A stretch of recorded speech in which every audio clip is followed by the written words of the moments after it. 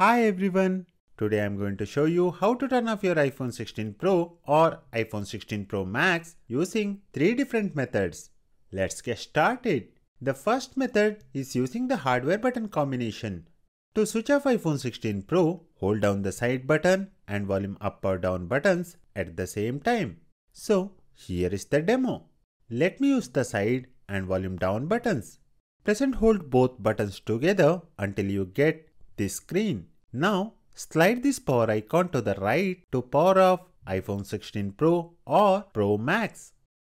To power on your iPhone 16 Pro, you can press the side button until you find Apple logo on the screen.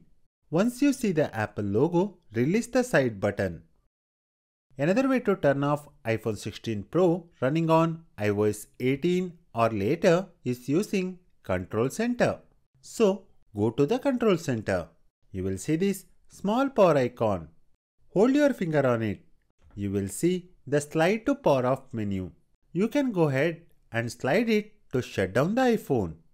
To switch on the iPhone without the side button, connect the charger via USB cable. It will restart your iPhone.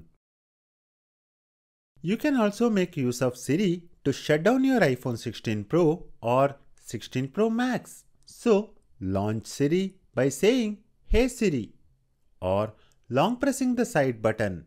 Give the voice command Power off my iPhone. To type it using a keyboard, double tap on the bottom edge of your screen. Now type Power off.